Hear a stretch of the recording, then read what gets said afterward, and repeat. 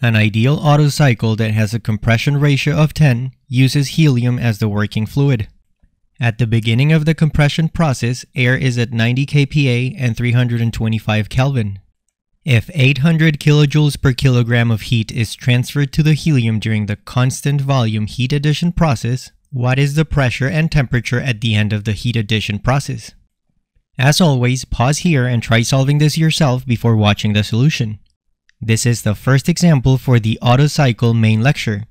The link to that 10 minute lecture and the links to all the other lectures of the thermo course are found in the description below.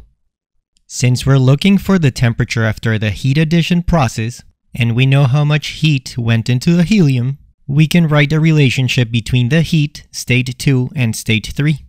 And since we are working with helium, which has constant specific heats, we can write the specific internal energy in terms of the specific heat at constant volume and the temperatures. Solving for T3, we see that we need to look up the specific heat at constant volume for helium, and we need to calculate T2. Now, since from 1 to 2 we have an isentropic compression, we can use the isentropic relationships we derived in the reference entropy 12-minute lecture, link below. And since helium has constant specific heats, we can use the then labeled approximate analysis. What we have in this case is the temperature at 1 and the ratio between volumes, which means we can use the temperature to volumes relationship. We solve for T2 and notice that we need K as well.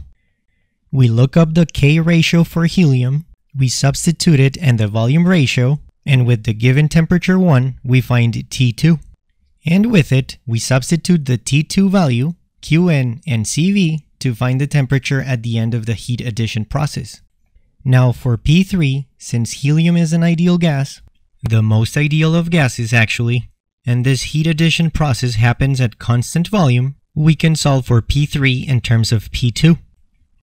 What we're missing here is P2.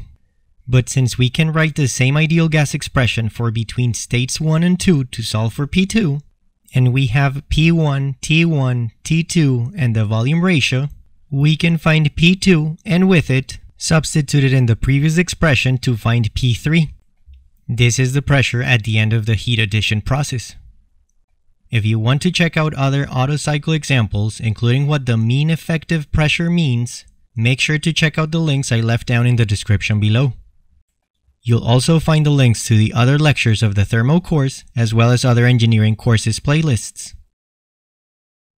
Thanks for watching.